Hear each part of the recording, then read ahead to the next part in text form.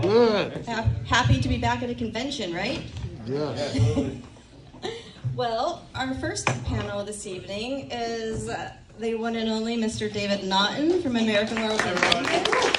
Yeah, this is great. Oh, and I get to talk on a microphone. This, this is this is good. Thanks for coming out. Thank you for coming out.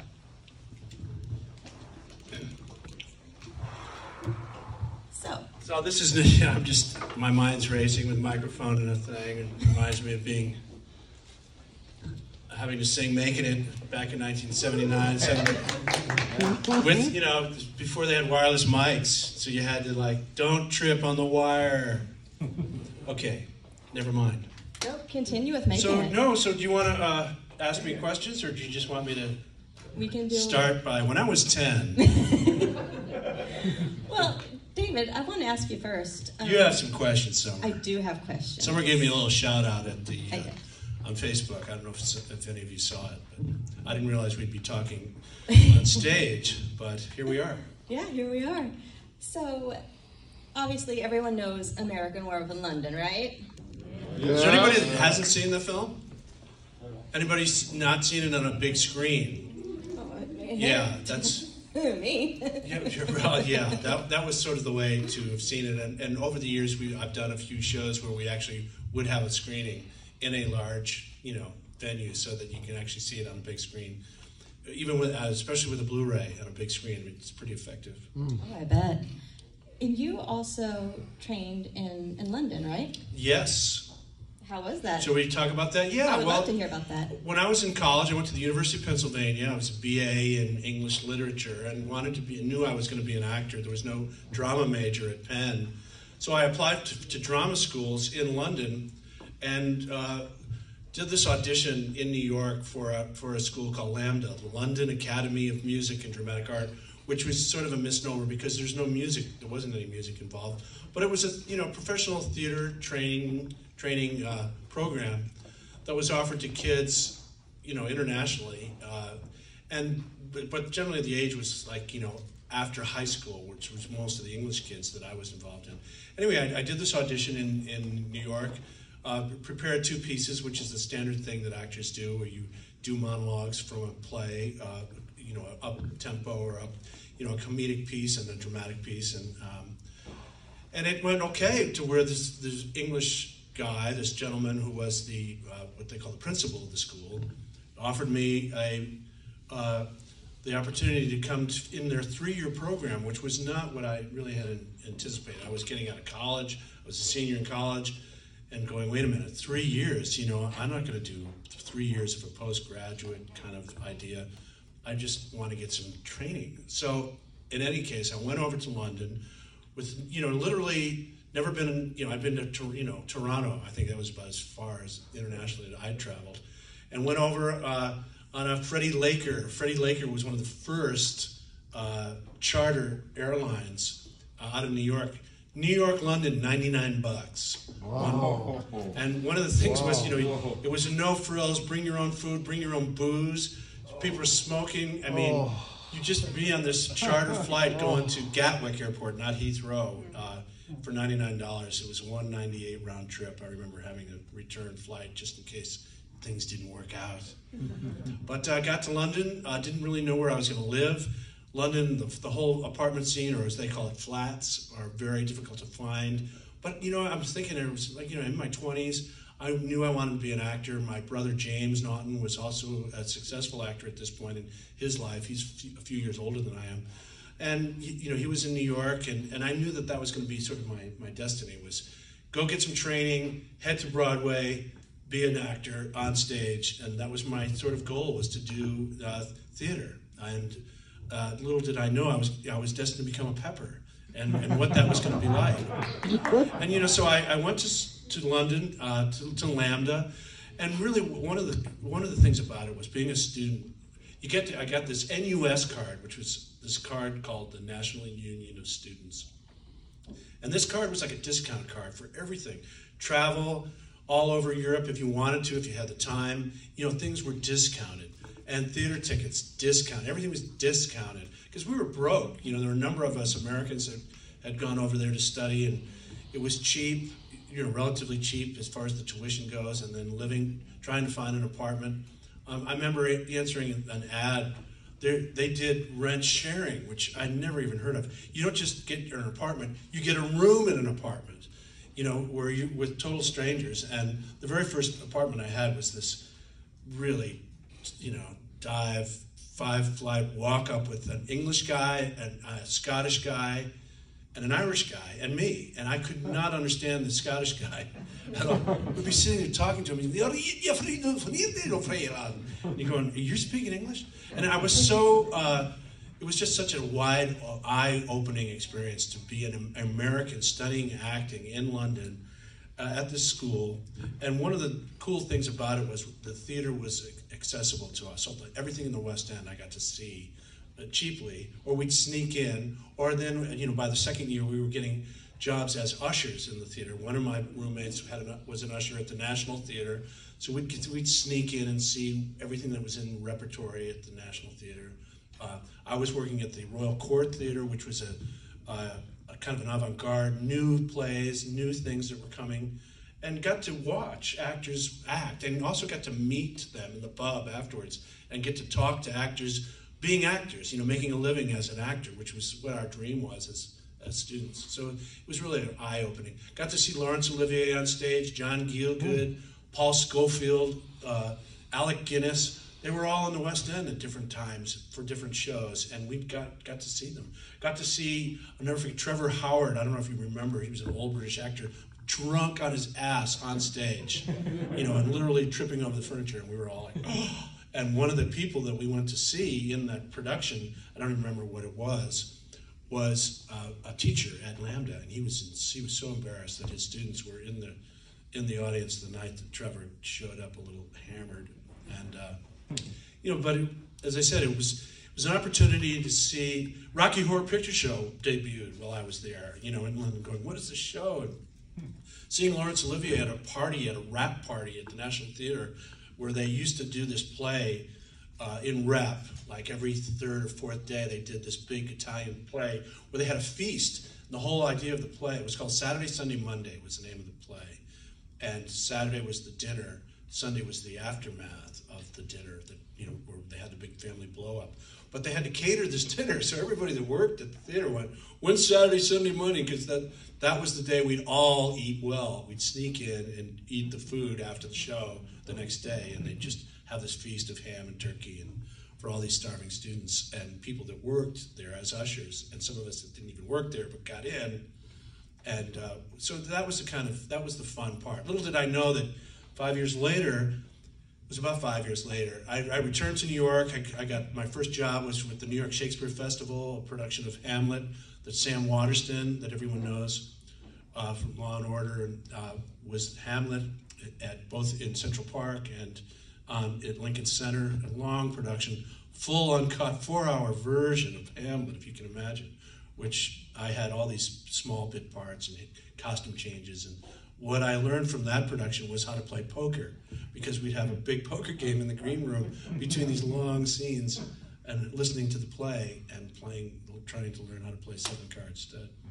Uh, and you know, and meeting other actors and working in New York was my first job. It was like, wow, this is great. Little did I know what truly what being an actor in New York was like until the play ended over Christmas into January. It was over, and I didn't work again for the mm. entire year, like 1976 or so. And so I started. I found an agent. Was going up for commercials and doing off Broadway stuff. You know, no money, working hard, but being an actor and working, doing the craft and going to Broadway when I could, when I could afford it. And um, that was the life of, you know, an actor in the 70s in New York. It hasn't changed much. Things, you know, the accommodations are always hard. You know, I think about the apartments. And the rents certainly have changed. You know, my rent, I had a rent, rental, you know, $400 a month, you know, 400 bucks. Hmm. Where you think about what people and young actors now that are starting out, both here in Chicago, I'm sure, as as well as New York and in LA, rents are, you know, you don't live alone. You have to get a bunch of roommates and, and do that. Um, so I was, you know, working in New York, uh, trying to be an actor, uh, going up for commercials, and I answered this ad for three, you know, three national spots for a soft drink called Dr. Pepper. Have you ever had one? I went, yeah, I think I have. Yeah, Dr. Pepper, yeah. It's the prune juice, you know, that kind of prune juice. No, there's no, there's no real anything in Dr. Pepper. And, and I went up for these commercials, which were musical spots, and there was choreography involved. And I was not a dancer. You know, you're up in, in New York, you're up against real dancers. You know, these are the ones that do all the Broadway shows. They're fantastically trained. And uh, I was in there, you know, on an afternoon going, what am I doing here? But for whatever reason, um, I was able to pick up the sort of easy steps uh, and remembering to hold the bottle the right way and and was having a good time doing it, which is something that they responded to. And, and that turned into a four year contract uh, with Dr. Pepper that put me on the map as far as being in national commercials and people going, who is this guy? And, and the soft drinks, you know, was just taking off. It went to number three after Coke and Pepsi. And, and it was hugely successful. And as I said, it brought me to the attention of people in LA where I would f- find myself moving uh, very soon after. I, I, didn't spend that many years in New York and went to LA to do a series called Making It, which didn't. But I was able to, uh, you know, talk my way into the recording studio to, to, to uh, try singing the title song for the show. It was based on Saturday Night Fever. It was a disco themed idea, you know, growing up in New Jersey and going to the disco. And, and the song uh, I recorded over the course of a Thanksgiving weekend in a studio with these guys whom I didn't know very well, but they were certainly up and coming. They, they were they had just recorded Peaches and Herb, Shake Your Groove Thing, Reunited, uh, I Will Survive. These were hits, songs that they had, and here I was, you know, in there going, I'm a pepper. I sang that jingle, and they went, well, let's see how you do with this. They had the four seasons. We are going to sing the Making It theme song, and they had these scratch tracks that I had listened to. So I got a chance to try to record it, and they liked it and released it, and boom, it took off. Went to number five in the top 40, and I found myself going on American Bandstand, rocking New Year's Eve, and meanwhile going, but I went to LAMDA, you know, I studied Shakespeare, and you know, but I'm a pepper. What is that about? And it was really the, through those commercials, in terms of the exposure to those, that I was brought to the attention of John Landis, who was now very successful with his own office on Universal Lot uh, who you know had done Animal House. He didn't know, but I had actually auditioned for Animal House and didn't get past the first you know pass when he was looking for guys uh, for, his for Animal House. And then were you auditioning for any role specific or? Uh, yeah, it was just a general audition. You know, to be one of the fraternity guys, any of those parts. You know, Tom Hulce, uh, Stephen Furst, you know, got these roles that were the leads, and and uh, but it was a chance to meet him but it wasn't it didn't go you know particularly well or you know very you know I wasn't too excited about it because I didn't hear anything after that. You see it when the movie's coming out, going, oh, I didn't get that one, yeah. Uh, and and and of course, shooting animal, uh, shooting the Blues Brothers here and other places that were huge, hugely successful. So he had this script that he had written when he was 21, and I'm sure many people have heard the story. He was working as a production assistant on Kelly's Heroes, uh, a show that continues to air. I don't know if you've seen this movie. People know it. It's a cool movie. A lot of famous guys doing a war picture. Mm-hmm. And John was a, a, a, production assistant, which, as you know or don't know, think of the bottom rung on, on any movies. You're basically uh, doing, you know, a gopher, uh, doing whatever needs to be done, you know, and just excited to be there. And but he had this opportunity to write at age 21 this screenplay, which is really the movie that we shot. I, I ended up being uh, introduced to him in LA when he was looking for people because Rick Baker and he were, you know, had already decided on kind of how the makeup was going to be, um, but needed Rick needed the guys as soon as possible. So before John even had the movie financed, uh, he was casting the two roles of the guys, the boys, as they called them, because Rick needed them in makeup as soon as possible. So I went in fairly prematurely. I thought it was like October 1980 at his at his his office at the Universal Lot, and he was this young guy, and it was such an informal meeting, and we were laughing and joking, and he was uh, just it was as informal as any audition I think I've ever had before or since, and based on that, he had seen my commercials. He knew and has said subsequently that he liked the idea of this guy who was friendly and likable, even from the 30 or 60 second commercial, might be just the type of guy that he wanted personality wise for his uh, one of his leads in his horror film. So the next day, uh, he said, "Call me, call me tomorrow, and read this." He gave me the script, American Werewolf in London. Hmm. And I, you know, I told him, "Oh yeah, I'd studied acting in London, and I'd certainly been around the moors. I knew I'd been on my bicycle uh, in Ireland on a trip, backpacking on a bike." He says, "Well, you won't be on a bike in this movie. Call me tomorrow." And I called him. He goes, "You want to be a werewolf?" All right. Well, you need to get over to Rick Baker's shop, and soon that started the the whole routine of going to Rick Baker's shop, which was, if you can see the way he ended his career, Rick retired like last year or the year before, you know, with a number of 100 employees in this, you know, huge building that he owned.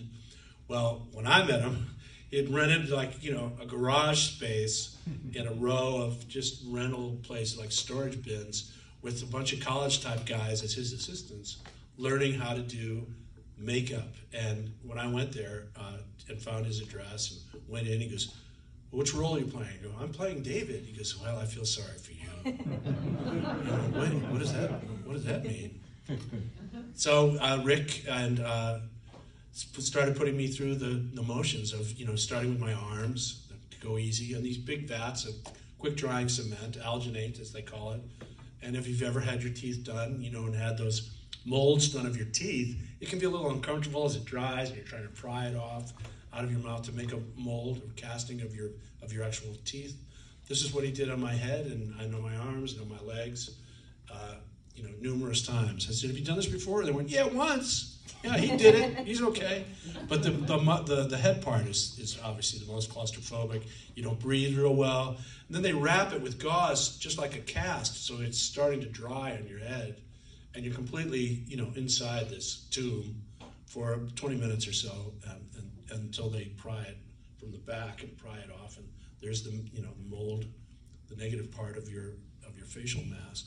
So uh, this was all done a couple of months before we actually went over to to England, where they had all set up with pre-production being done over there, and we shot obviously the entire movie in 10 weeks there in London using the Twickenham studios uh, Superman was being shot there with a real budget, and this little werewolf movie was being done uh, that, that John had financed through a company, you know, where he, the way he described it was he didn't even have the money until after he delivered the film.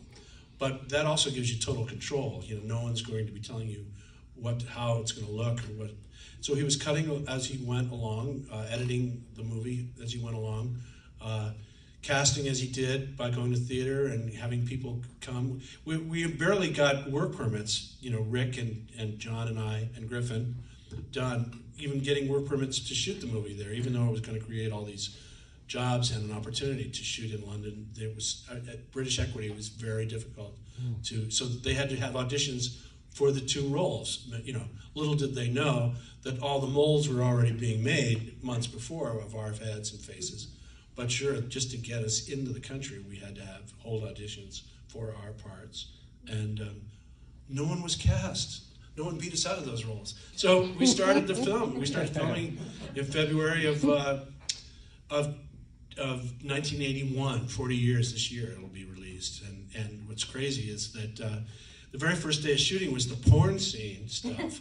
So there's, you know, these guys are all, you know, if you if you've ever met anybody on a crew, they don't get the scripts, they just get the gig. You know, they don't know what the movie's about. They know who the, the directors are. They may recognize some of the names of the people in it, but they don't necessarily know what the content of the script is, other than they hear it say it's going to be it's two months, you know. It's work for two months. It's a horror film or something. Hey, whatever. Twickenham will make it. Job's a job. Yeah, it's a gig. Well, the first day, this crew shows up on, and we're shooting a porn scene, and they go, "What did we sign up for?" and many were, you know, on the verge of quitting until they go, "No, no, this is just the movie. that's playing in the movie theater." And uh, you know, so they stuck, they stuck it out, and uh, so to speak, and they hung in there for the for the duration of the movie.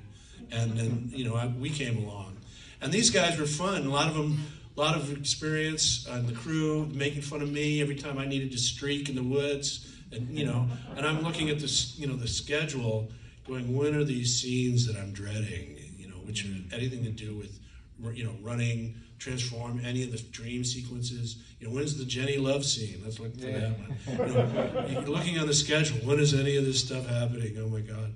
And you know, but fortunately for the the film started out. Uh, on day one for us was uh, uh, you know just the way the movie starts. The truck driving up we're in the truck in the back with the sheep and that was our first day and that was those were our first minutes working together griffin and i and and getting a chance and doing those scenes out in the moors walking along and talking about what we had planned.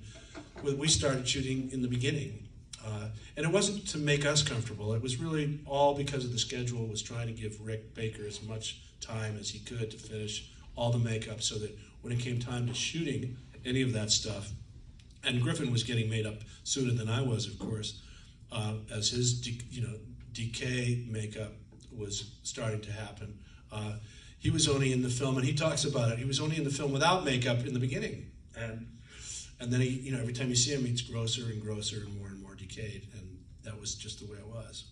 But you know, the thing that I like to tell people about the movie is everything that you see in the film we actually did. I mean, it wasn't there wasn't any sort of uh, special effects to the to the point where it wasn't it was done in post. For example, you know.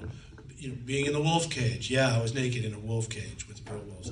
Um, Is it that, true that like the zoo was open for part of that film? Well, you know, there's a scene where where I come running across and I grab a jacket. You know, I've supposedly have wait. You know, woke up in the zoo naked, and now I'm trying to figure out how do I get back to the apartment. And and so I run and I grab this red coat from a woman off a park bench, and streak right across. Those scenes are all shot in the Regent's Park Zoo, which we had to ourselves until they opened it.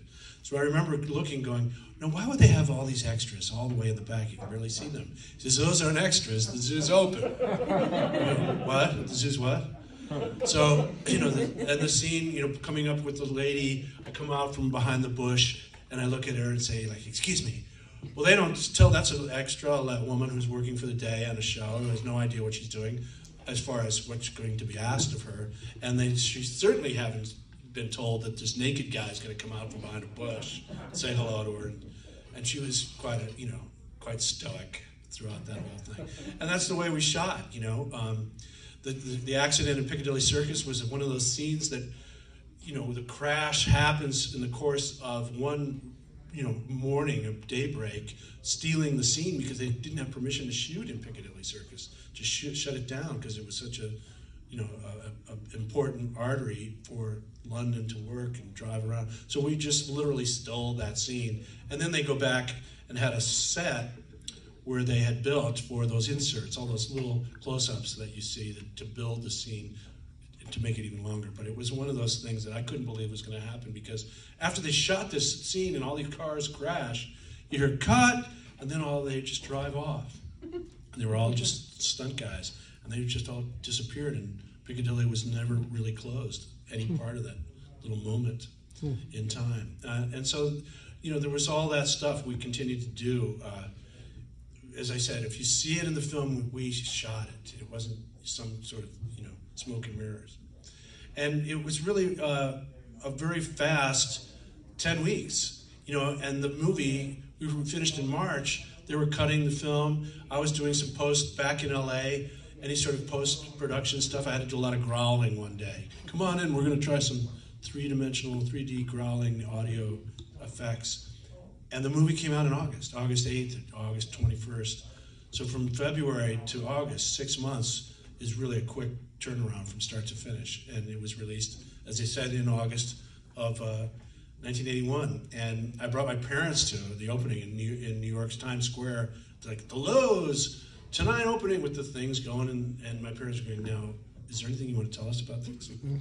I go, no, there's nothing I can really tell you about it other than just what you're about to see is true. They freaked out. I'll never forget how freaked out my parents were. And we're asked, and you know, uh, Roger Ebert was in the audience and wanted to interview my dad afterwards. My dad is catatonic. There's nothing to say. I was intervening. They have nothing to say. Don't ask them anything.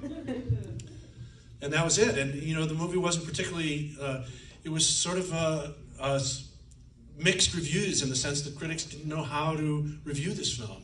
Um, it was supposed to be, as John Landis definitely wanted it to be a, his horror film, and he made sure that the marketing campaign was from the director of Animal House, a different kind of animal. Meaning, this is a horror film, folks. This is not comedy. Don't come in here yucking it up, thinking. Even though there is a ton of, com- of comedy, and we do get along. You know, our, our little relationship, Griffin Dunne's and mine, was funny and off the cuff, and not a lot of improv either. By the way, all that was written by John. Uh, but the fact is, it's on a lighter tone, and yet it really gets pretty gruesome and, and you know, John's favorite thing to yell was "more blood," you know, as we went throughout the course of the film, with all the different characters that uh, ended up being murdered. Yeah, I mean, I think the key to a, good horror film is is partly comedy because if it's all intensity all the time, you're going to go insane. Well, yeah, watching it. and it wasn't you know, like we weren't setting it up. It wasn't a spoof, you know, where people Right. try to you know cross that line, making it unbelievable. It was supposed to be very difficult to watch, and you know, Rick's was uh, we didn't really know what Rick was going to be like, other than as we got into his makeup, it was painstakingly slow, and he was a perfectionist. Um, one of the first nights that we were out on the moors, and Griffin gets attacked and killed, and I'm running away from the scene and turn around and come back and see Jack. Well, when Griffin gets attacked, you know, there's that moment where I go, "Hey, will you help me up?" And then he, and then the wolf attacks him. Uh, how they were going to stage that was Rick was really nervous because he only had two heads, and they were only made like you know like puppet, not you know hand operated, and he only had two of them. So it wasn't like you know nothing could go wrong, or we, we wouldn't be able to shoot that particular scene where Griffin gets attacked. And they weren't going to rehearse it because you know he to I'm going to come at you, Griffin, but I want you to be really careful of the head.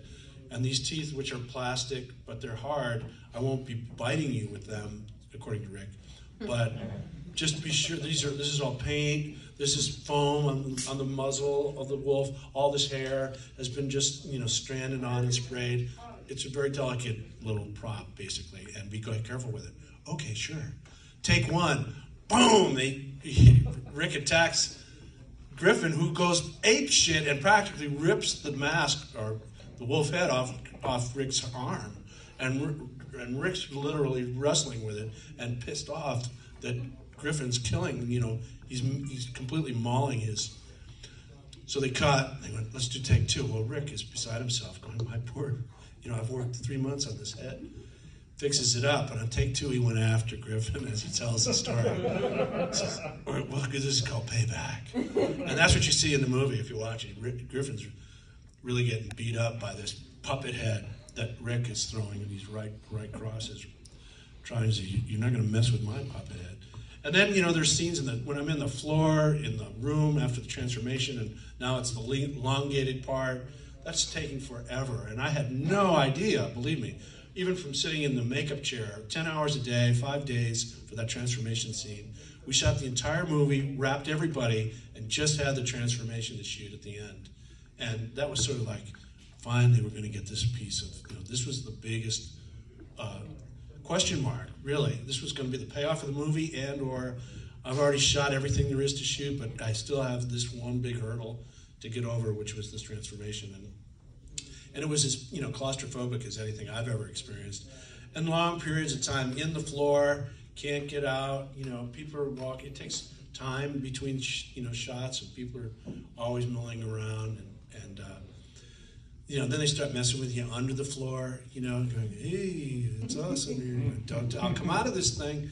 You know, I'll, I'll rip this thing off. Cut it out. Come on. You know." So there was times for fun and levity, and the crew would always be giving us lots of jokes, particularly in any of the scenes that were outside, naked running scenes. Ah, it's cold out, isn't it, Dave? It's very cold out. And so, but overall, we really had a lot of fun making the film. We had no idea how, what kind of reaction we were going to have, uh, what, what was going to be, you know. Well, in 40 years, you'll be in Chicago on stage talking about the making this film. But it did well for, you know, we all did well by it. I mean, Rick Baker certainly was acknowledged by the Motion Picture Academy, won the first Academy Award for his makeup, and you know the first of seven. He's won seven Oscars, and this was his first, and the one that he talks about uh, that people talk to him most about, even though he has all those other wonderful films that where he did effects and creatures. Uh, people seem to want to talk to him about American Werewolf, and John says the same thing. You know, um, people talk to him about it because you know, and what I've found over the years is that people you know wanted to go into film or wanted to become makeup artists or special effects artists or props. So many people started their careers based on you know this film. This was one of the first horror films they'd ever seen, and and what impact that had not only in terms of scaring them, but also wanting them to pursue a career. So there you have it. Should we try any questions or Yeah. what do you think, Summer? anybody out Any there have a question? Anybody have any comments or questions? Yeah. mhm. Yeah, so uh, I find that werewolf films are amongst the hardest to get right, at least as a fan. Uh, but in '81, and correct me if I'm wrong, but you had American Werewolf in London, Wolfen, and The Howling all come out in '81, and a lot of people consider that amongst the top five, three of the top five werewolf films ever.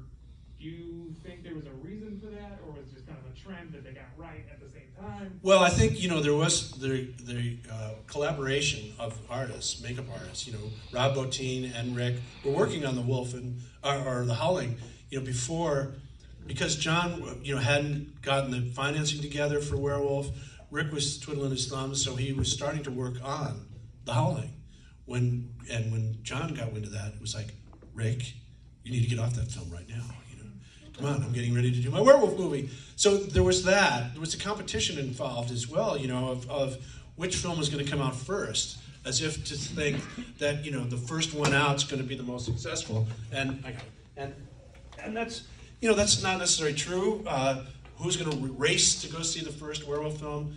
But it is uh, a coincidence that they came out and have had you know the sort of uh, staying power that they've had. But I, I, I know that they were collaborating. You know these new these effects, which were you know previously unheard of in terms of bladders, air bladders, and uh, were you know in the talk, and and those films show them. And, and, you know it's really amazing. I would go to Rick's shops in subsequent years and see the sort of stuff that they would come up with that you know you wouldn't even know and they did commercials and things too, where if they needed a baby, say a baby's arm, and you know a baby needed to pick up the product, well, you can't always get a baby to do that, but you get Rick Baker to build an arm that goes down and picks up the product, um, and on and on. Really fascinating stuff. Things that move, you know, birds that fly or on a wire, all this mechanical stuff, which was, and then he would paint, and he was such a good sculptor and such a fine painter. You've seen him; some of his stuff, his art is. Uh, you know, is, is really top notch. And, and this is what he does now. You know, we we had a chance to go to Spain last year over in uh, Tenerife, the Canary Islands, for a film festival. And Rick had his book. I don't know if you've seen his books. It's like a two volume piece of his work. And, you know, that's what he loves to do. He's not the most, uh, you know, he, he'd rather not go to the party. He'd rather be back in his room drawing, you know. And that's the kind of guy he was and you didn't really get a chance to know him in the makeup chair other than are we ready yet no it's going to be a while longer it's going to be a little while longer and then once you get out on set it's going to be a while i mean he'd just be right there with a paintbrush you know dabbing dabbing away and and you know there's a scene where i'm in the forest and i wake up in the hospital bed it's just weird and i got these glass lenses on which nobody wears anymore these are solid glass lenses they put in with a you know a, a little suction cup put in there, and they're painted like wolf yellow, and mm-hmm. you're supposed to you know wear them 20 minutes, you know, get them out. Well, you know, what scene is shot in 20 minutes on a film set? You know, like hour two, I'm going, can I get my things out of my eyes? No, we're almost ready.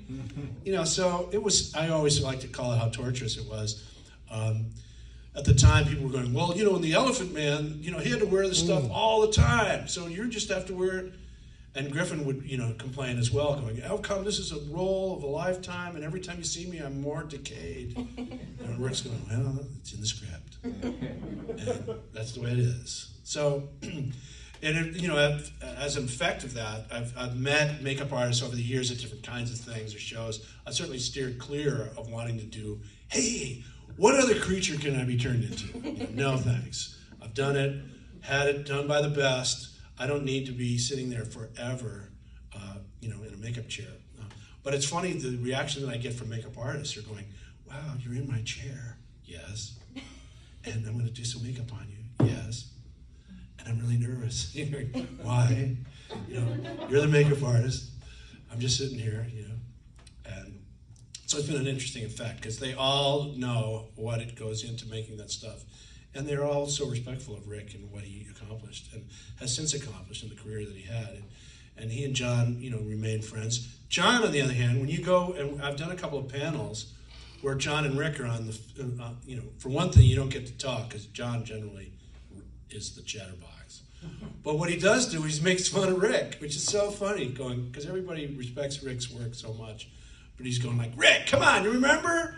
And because they worked on a movie called Schlock. I don't know if any of you ever heard of this. But this was like one of their first little high school things where Rick was using his mother's oven to make the creature faces and you know baking things, and they laugh about it. But you know that was their first sort of uh, work together. You know, and making those Super 8s and, and doing that kind of thing. But they stayed friendly and cashed it in with a big film like this one for them. And uh, it's, you know, as I said, then the, one of the things that I've been asked was like, you know, there's this talk about a sequel. You know, what about this idea of a sequel? I go, well, who wants to have a sequel to a film that you're proud of? Going, you know, make go make your own movie, or come up with another idea. But then I thought of it in, in the sense that you know, if they do a sequel, you know what will happen is they'll say, yeah, but did you see the original one? Which will just give legs, you know, another generation of kids and horror people will go, well, yeah, I saw it, but you got to see American Werewolf in London, the original. Yeah, I mean, always look how many times Body Snatchers has been remade. Yeah, you look at or Phantom of the Opera or Dracula or any of those. There's always the origin piece. Yes, you got to go back. no, it's to. true. You have to go back to it, and and uh, so forty years this year. Yep, this is what forty years looks like. 40 years later. Anybody else? But, yeah. Mm-hmm. What were the uh, top three weirdest scenes to shoot in the movie?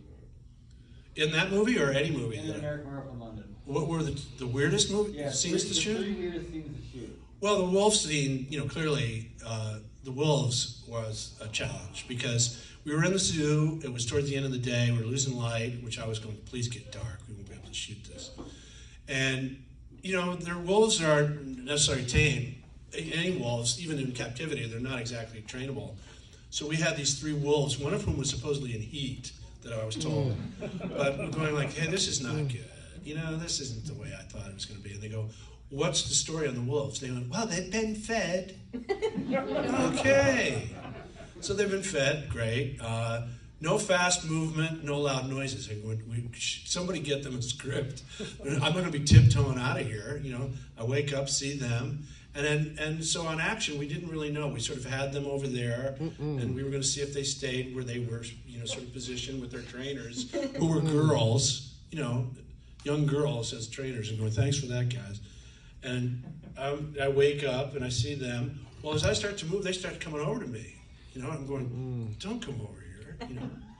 And I'm also supposed to get out of the cage, which I hadn't rehearsed, and it was a set, and I just tried to find my way out, and the thing starts to come apart. If you watch it, you see it start to come up. I went, I'm about to fall on my back, you know, right into the wolves.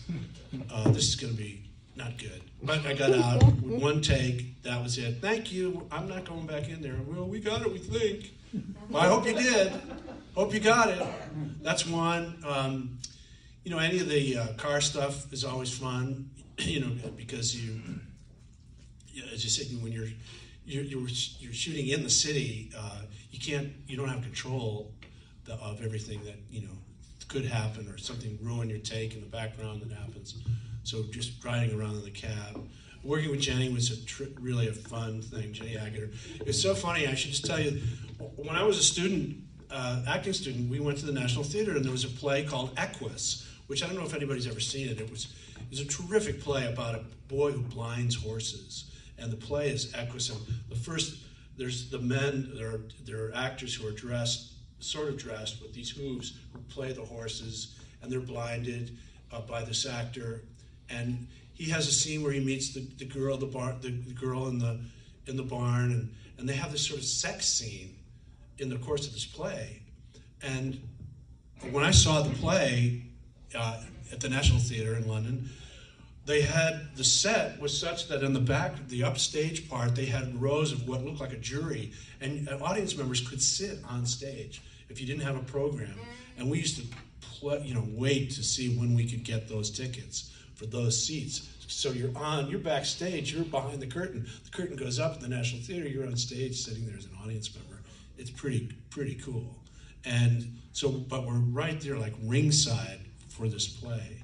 And in the course of the scene, they have this love scene where they're naked on stage. Turns out it was Jenny Agutter.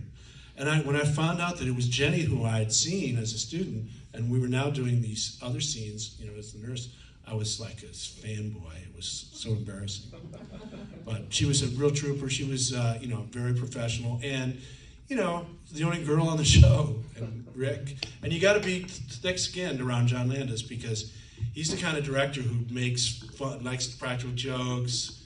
I mean, does everything that an actor. If, if you're insecure, you're not you know going to do well with the John Landis experience because he uh, he has fun at your expense, and I, I was certainly uh, game for that, particularly in all the different you know scenes that I was in in Werewolf, where there was plenty of opportunity to make fun of everything. But overall, as you said, it was uh, unexpected. The success of the film, the, the, the, the reviews were mixed, but it tended to grow uh, as it was acknowledged as this particularly cool transformation scene. And as films go, um, you know, then CGI started to come involved. You know, and when that came in, it kind of pointed to those films not to make them obsolete, but really to sort of show how those films really worked with, just the, you know using practical makeup and that how CGI needed to be rethought and used, I think, you know, very carefully because you've seen films that have been just like, yeah, we spent our whole budget on the CGI, which was post production, which we sent, by the way, and nobody realizes the people that do the CGI have nothing to do with the film. They're not the director, they're not inspired by the writers or directors. They're just artists, usually over in, you know, the Far East where it's cheap initially and doing their CGI, you know and just told what to do. And, and the control aspect of it was, I think, um, hard to, to keep a hands on. And that's why so many of it, look at some of the films that you've seen where you remember the Hulk. It was, I saw the Hulk with the CGI, and it's like, it's this bouncing little frog creature, you know, going, what happened? You know, and that's what happened in so many CGI, so that they got, I think, finally got I don't know if they got it right, but at least they, they became aware that you could overuse it in a way that was not particularly, you know, beneficial to the film. And, you know, as I said, practical makeup is being brought back in many ways, too, or a mix of both. So, uh, and Rick, you know, he, I think he got tired of, he retired. We went, how would you retire? You know, you're still, you, are at the top of your game. You know, you still are up on all the digital things. You can still do all the scrolling and things on a screen. He says, I was tired of people coming to tell me how to do it. Can you imagine? Going in and telling the artist this is how it's supposed to look. And that's when he said, I'm out of here. So I haven't said it yet. Maybe I'm out of there and I don't even know it yet. They said, stay out. You know, you don't know when you retire as an actor. You kind of go, as long as you can still learn lines, it's always been the, the sort of the bar You know, when actors can't learn stuff anymore, it's kind of like done. And uh, I, I, remember I had the chance and opportunity. You mentioned Invasion of the Body Snatchers. I worked with Kevin McCarthy on a little movie, and he couldn't have been more fun. And he was about 85, 88. He lived into his 90s. He worked right to the end. Um, John Woodvine, who is plays the Doctor in American Werewolf, I saw him in a movie like two years ago. He's 90 something years old. I go, that's John Woodvine. I know it is. So you know, there's nobody's nobody tells you you're done until you say you're done, really. And that's in any career, you know. So I, don't go until don't don't be forced out until you decide. Not until you're ready. Not until you're ready. That's it. All right, we got about five to ten more minutes. Is there any? Yeah. Like you said, uh, David, it's been 40 years now. Um, was there obviously it's an iconic movie now, but started like I said with mixed reviews and that. Is, is there a, like a point in time that you remember where something happened or whatnot that kind of made you realize that hey this is like you said growing or this has become bigger than i thought it would be you know, like down the road, was there something that happened that kind of pointed Not, not out to you? necessarily a specific thing, just that you know appreciation, and then you know the shows, these the, the, the cons that have come, sort of developed over the years. You know, they started out. I mean, I remember the very first things that I recall were just Trek conventions. You know, Star Trek things, and if you weren't into, into Trekkies, then there wasn't you know these sorts of conventions that I was aware of. But uh, you know, it was getting to attend some of these uh, over the years, and I mean, you know, it's been 40 years. I haven't been going to shows for 40 years, but but certainly to the point where you start to meet other filmmakers and get to meet people who have done similar things and appreciate the, the st- stuff. So it kind of puts it in perspective uh, in terms of ranking it among the sort of films you know that people point to when you want to talk about transformation or you know music in a film. You know, I thought was another aspect of the movie that was really quite well used util, utilized by Landis. And you know, the movie th- he had all these all these moon referenced popular music that he wanted to put in. One that he didn't get was you know Cat Stevens' Moon Shadow. He had approached and Cat Stevens said, "Oh no, no, you can't, you can't use my movie for a werewolf film." Went okay, but you know, Blue Moon and Bad Moon Rising, and you know, and then you know, I got I, I got a chance. I was waiting to meet or see Van Morrison in, in concert, which uh, living out in Palm Springs is where I did it. He came to Palm Springs and performed, and he did uh, Moon Dance in this sort of up tempo evening where he didn't even sing one one note, didn't sing one word of any song for the entire night. I'm going, Van Morrison, what happened to you? You know, because that was a major moment in my life, and I obviously I couldn't listen to Creedence Clearwater, you know, without thinking of the film. You know, and and you know, I think one helped the other as well, and I'm sure they've been asked, and I would have asked, although I was so disappointed with Van if I had had a chance to meet him, going. Did anybody talk to you about this movie? You know, and what it did for your for that song? But he was he was doing his all jazz set that night. Crazy. So if there are any Van Morrison fans out there, sorry. Maybe I'll give him another chance somewhere, sometime. Okay, well, come on by the table if you feel so inclined. You can see some pictures of yesteryear. But I appreciate you coming on. Thanks so much. Thank We you. Thank you. appreciate you coming out. Thank you so much.